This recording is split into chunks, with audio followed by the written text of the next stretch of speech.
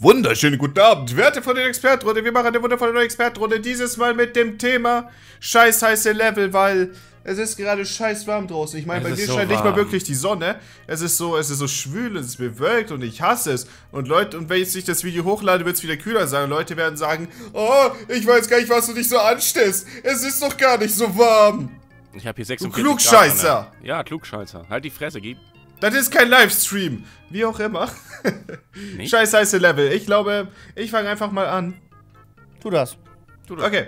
Nachdem ich beim letzten Mal schon nichts erzählen konnte über OPs. Es ist tut mir leid. Aber dafür habe ich ein paar gute Oh von mir gegeben. das war eine interessante Expertrunde. Okay.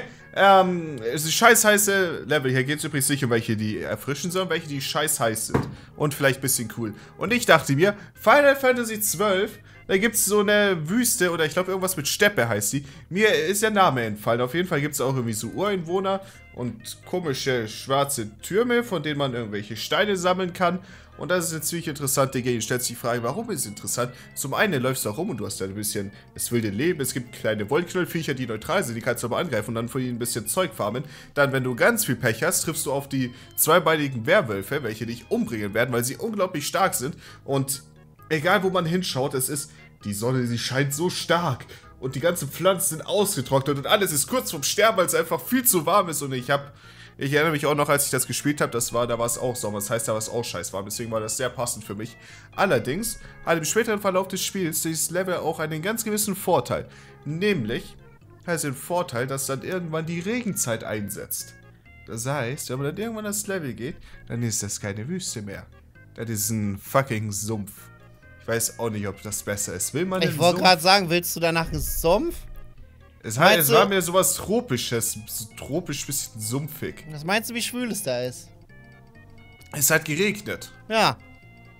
Ah, jetzt wo du es sagst, fuck, das ist bestimmt scheiß schwül. Aber es geht auch um eklig warme Level. Insofern Ja. ist das, denke ich, ganz eingebracht. Zum einen hast du eine staubtrockene Hitze, die dich einfach äh, braten wird. Und zum anderen hast du eine scheiß äh, schwüle Hitze, welche dich einfach dampfgaren wird. Mmh.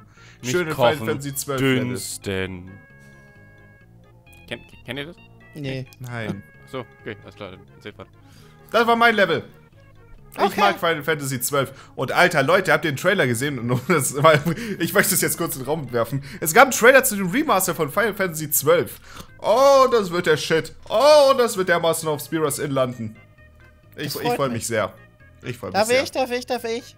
Ja, nämlich du darfst, kleiner Chris. Dankeschön! Wo wir nämlich gerade auch bei Spiras Inn sind. Ich habe heute ein Secret of Evermore Part aufgenommen, ne? Für Spiras Inn. Und da bin, da, da bin ich durch die Wüste gelaufen und habe gesagt, Alter, genauso fühle ich mich gerade.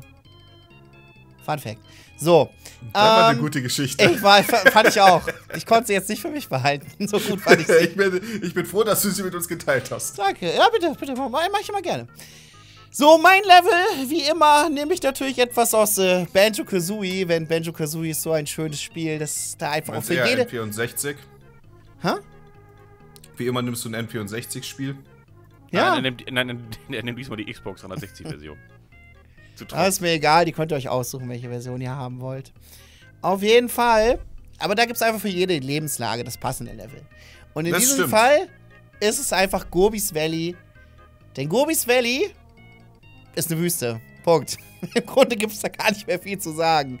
Der Sand ist da stellenweise so heiß, dass man nicht drauf laufen darf, wie im echten Leben.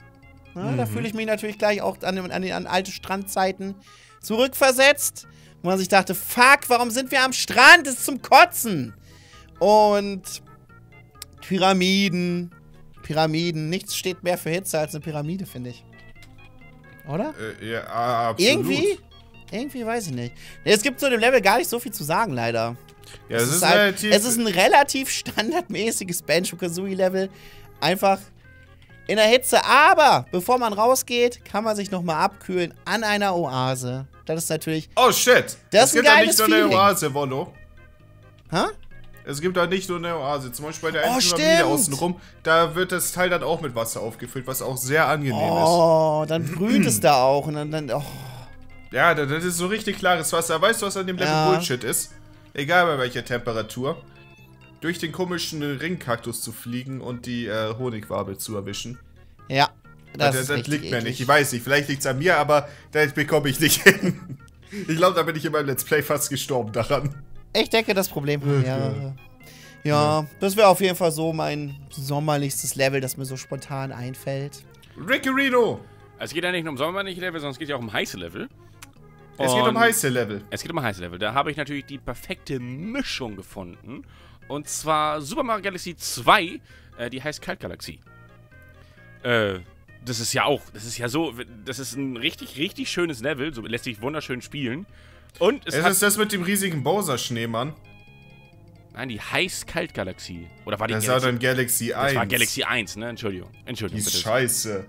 Die war super. Ich denke gerade an die eine ist Galaxie aus Galaxy 2 mit dem Bowser-Schneemann. Ich denke Ist mir, ach, der schöne? Bowser-Schneemann. Es gab doch aber auch eine in. Es in, ist in, heiß und kalt, das stimmt schon. Es gab doch auch in Galaxy 2 eine, oder nicht, ne? Oder, oder vertue ich mich da Ich kenne nur die aus Teil 1, jetzt höre ich nicht wirklich du, du, du, du bist Ich kenne Galaxy 2 beide. Also ich habe zu beiden ein Bild. Okay. Doch, und in Teil 2, da gibt's eine, wo man auch. Teil Äh, 2, da ist so ein, wo man so so einen Bowser-Schneemann mit einem. Feuerball kaputt macht. Ja, genau. Und man über Lava unterwegs ist. Stimmt, aber auch Lava, genau, genau, genau. Und Mhm. das Level meinte ich, genau, genau, du hast recht. Stimmt, weil, weil das hatte ich mir mit Louis. Ja, doch, doch, doch, das meine ich. Ähm, das ist ein richtig schönes Level. Du hast halt diesen, die, du hast halt diesen ganz, ganz starken Kontrast. Du denkst im Lava-Level, Alter, wir hier raus. Und im Schnee-Level denkst du, Alter, wir hier bleiben. Das ist einfach der Wahnsinn. Das ist ein richtig schönes, spielbares Level. Und du kriegst richtig Hitzewallungen bei dem Spiel. Also- Nein. Doch? Ich also schon. wenn ich es jetzt spielen würde, ja. Ja, Aber das hätte nicht unbedingt mit dem Level zu tun. Ich hatte bei allen. Ich habe selbst Hitzefallung während okay, pass auf. Leck hier mich. sitze. Es ist ein scheiß heißes Level, weil es in einem fucking Vulkan spielt, oder es ist ein kaltes Level, was nochmal der gu- guten Kontrast dazu ist. Leckt mich, es ist ein gutes Level. Das ist es auch. Ich habe ein besseres, pass auf. Und zwar aus Rayman 2, die Zuflucht von Feuer und Lava oder so. Ich habe keine Ahnung, da wo man die zweite Maske herbekommt. Das ist ein Level. Da muss man erstmal eine gewisse Anzahl an, ich meine, Loops gefunden haben, um überhaupt reinzukommen. Denn da findet man die zweite der vier Masken, die man braucht, um das Spiel durchzuspielen. Das ist ein ziemlich wichtiger Ort. Auf jeden Fall geht man da rein und erstmal ist neben dem Weg, den man geht, da ist schon anfangs immer so ein bisschen Lava. Was relativ nervig ist, weil wenn man die berührt, ist man sofort tot. Aber in Rayman 2 gibt es noch eine gute Taktik dagegen. Nämlich, kannst du eine Pflaume nehmen, dann, dann schießt du dann drauf, dann fällt die Lava, dann springst du auf die Pflaume und dann, dann surfst du auf der Pflaume über die Lava. Du bist auch so eine Pflaume, weißt du das? Also, du bist eine Pflaume, du bist zurück. Okay, Entschuldigung. Das ist unglaublich, ich weiß nicht, warum ich es mag, aber es ist ja shit. So. Das ist natürlich nur der Anfang. Das ist die eine Lava. Aber später, wenn man weiter ist, dann geht das mit den ganzen Pflaumen surfen. Da wird natürlich noch ein bisschen extremer. Irgendwann muss dann auch so, da geht es dann nicht nur so geradeaus, sondern so ein bisschen den äh, Hang runter. Das heißt, da musst du ein bisschen aufpassen beim Pflaumen surfen. Denn die normale Lava, die ist schon relativ heiß. Man ist da bis da Nein. ist auch schon in der Höhle. Ja, das Lava mit so ein paar Steinstückchen, die da noch so ein bisschen äh, rumschwimmen quasi. Aber wenn man da dann runter surft, da ist das Problem, da gibt es dann auch gelbe Lava. Nein. Und die ist dermaßen heiß, das halte dich fest.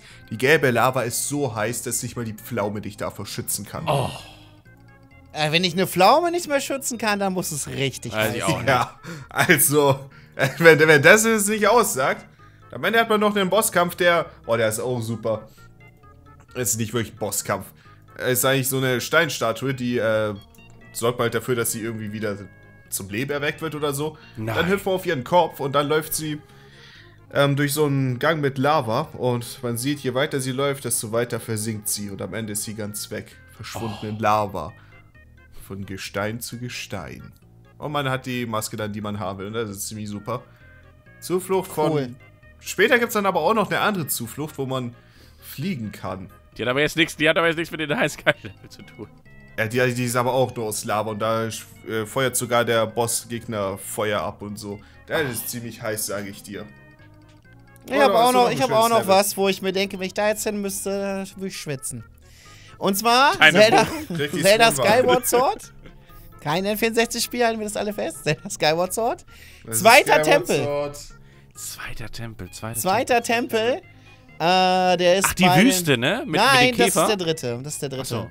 Der zweite Tempel ist, mh, du gehst in einen Vulkan rein. Jetzt stellt euch mal vor, ne? ihr macht eine Tür auf zu einem Vulkan und ihr sollt da die Treppe runtergehen. Was weißt du, was dir da schon für eine Hitze entgegenkommt? Überlegt euch das mal.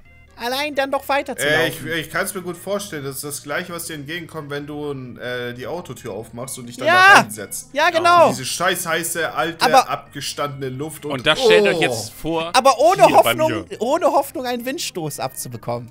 Dito. Du gehst da Den rein. bekommst du im Auto auch noch nicht. wenn- Ist auf, jeden Fall, steht. ist auf jeden Fall ein cooles Level, weil du bist halt im Inneren des Vulkans, ne?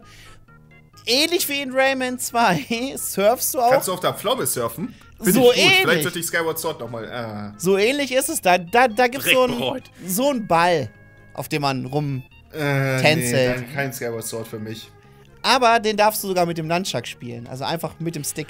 Ach, stimmt. Alter. Ich erinnere Verrückt, mich oder? gerade. Dass man das darf. Stimmt, ich erinnere mich gerade an das Level. Ja. Stimmt, stimmt, stimmt. Und der stimmt. Boss, der Boss ist am Schluss nochmal ein Stein, der auch äh, Lava drin hat. Was meinst du, was der auch noch für eine Hitze abstrahlt? Das ist der Wahnsinn. Bei allen Dingen, wo ich das, wo ich das gerade so vor mir denke, ne, läuft mir die Suppe einfach nur runter. Weil ich mir denke, das muss so scheiße ekelhaft sein. Und Abkühlung da drin, null. Und somit Hm. wahrscheinlich das ekligste Level der Welt bei Hitze. Da wir gerade zu von, guter Letzt, Ricky. da wir gerade alle über Vulkane gesprochen haben, äh, geht, Ne. spielt mein letztes Level auch im Vulkan. Und Lol. zwar der erste Dungeon, also der. Willst du mich verarschen? Du hast ja für dieses Thema. Ich möchte kurz. Psst, halt mal den Mund, Ricky. Du hast ja für dieses Thema Sunshine gesichert. Jetzt kommst du mir mit so einer Scheiße. Wieso? Er hat auch immer anderes genommen als Banjo. Ich hab doch Banjo auch Er schon hat Banjo genommen. genommen. Ich hab Sunshine nicht genommen, weil du gesagt hast, du willst es. Und jetzt bringst du es nicht. Ich weiß, weiß, weiß, weiß. Bring jetzt das Sunshine-Level. Ich wollte mich. Das Spiel heißt Sunshine. Das hat's im Titel. Ja, aber ich, ich wollte ein anderes nehmen, weil Sunshine. Ja, wir wissen, was du wolltest. Mann. Windbreaker, erster Tempel. Haben wir verstanden? Ja. Nee. Ernsthaft, das ist gleich, was Wollo gesagt hat. Bring jetzt Sunshine. Okay, okay, okay. Das letzte Level von Super Mario Sunshine. Ähm, Na, oh, da, da bist du nur fünf Minuten auf Lava unterwegs. Nein, also das, das wirklich, das, das wirklich das heißeste Level, wo ich auch wirklich sagen kann, das ist ein Level, wo, wo, es- wo es mir richtig eklig wird, ist ähm, gerade in der ersten Mission, wenn du oben auf den, äh, wie heißt das, auf den Shine Sprite Turm raufgehst. Echt? Das findest du so heiß? Das finde ich eklig, weil, du- weil du, du, du kommst da an, ne, denkst dir, ach, schöne Level bisher, überall war ein bisschen Wasser, überall schön ein bisschen Strandfeeling, das ist noch okay. Dann kommst du da hin und alles ist voll Lava. Du musst Hunde, die brennen, irgendwo in Wasser schmeißen, wenn du diese Hunde anfasst. Stell dir mal vor, du fest einen brennenden Hund. Hast du schon mal einen brennenden Hund angefasst? Nein. Ja, Ach so, okay. Dann, dann weißt du ja, wie sich das anfühlt. war nicht gut. Nee, dann weißt du ja, wie es sich anfühlt. Deswegen, du musst da brennende Hunde ins Wasser reinschmeißen, wo du denkst, oh, lass mich doch lieber in das Wasser reinspringen. Und das ist einfach richtig eklig. Und vor allem auch in späteren Level, wo alles voll Feuer ist und du hast noch nicht mal mehr einen Wasserspritzer, um da irgendwie was wegzumachen, sondern alles ist einfach nur voll Lava und das ist ein richtig heißes, schlechtes, warmes, ekliges Level. Weißt du, was ich glaube, ist auch das ekligste und heißeste Level aus Sunshine? Was? Der fucking Freizeitpark. Ich wollte gerade was sagen dazu. Und zwar kann man den auch als Real-Life-Gegenstück nehmen. Stell dir vor, an so einem beschissen heißen Tag in den Heidepark zu gehen. Ja, genau, deswegen der Freizeitpark. Das, das kennt man. Das Ja. kennt man. Das dir kann halt echt Wenn du so lange in der Also Sonne warst, dass du, beim, dass du bei der Fahrt nach Hause dann anfängst zu kotzen. Weil es einfach zu viel Sonne für dich war. Du denkst dir so, oh Mann, ich bin mit zwei Achterbahnen gefahren und den Rest der Zeit stand ich in der Schlange. Das war's wert. Fun Fact: Als ich im Heidepark war, hat es vorher geregnet. Ich habe mir einen Pullover angezogen. Als ich da war, war die Hitze des Todes. Ja, so ein Pullover halt ausgezogen. Ich hatte kein T-Shirt drunter. Ah, Warum trägt man Pullover ohne T-Shirt drunter? Pullover- warum war hat man weich. überhaupt einen Pullover? Ich besitze sowas nicht. Hatte sogar die Jacke mit, weil das auch im Vlog, das hat man doch so gesehen. Ich hatte sogar eine Jacke mit. Ich hatte, musste die Jacke mittragen. Hab- Da! Du trägst den Zwischenpulli. Oh, ich dachte, da wärst du ein Kind gewesen. Nein, das ist gerade erst passiert. Das ist gerade erst passiert. Warum trägst du einen Pulli ohne T-Shirt drunter oder so? Pullover war weich. Oh, so weit zum Kuscheln. Ja. Ist doch schön. Ah, Im Heidepark bei Hitze mit einem mit nem Pullover. Aber das ist halt wie Mario in der Hitze im Freizeitpark mit Blaumann. Wir mussten Das halt. ist scheiße. Ähm, wir mussten halt aber Konsole nicht anstehen, weil es war nichts los. Es war offenbar zu warm für die Leute. Na, immerhin. Immerhin. Aber gut, liebe Leute, ich würde sagen, jeder hat zwei geile, heiße Level abgeliefert. Er war ziemlich heiß. Und also war soweit diese Expertenrunde. Und Tschüss. abschließende Worte. Bis zum nächsten Mal. Immer schön, Nacht. Immer schön cool bleiben. Oh!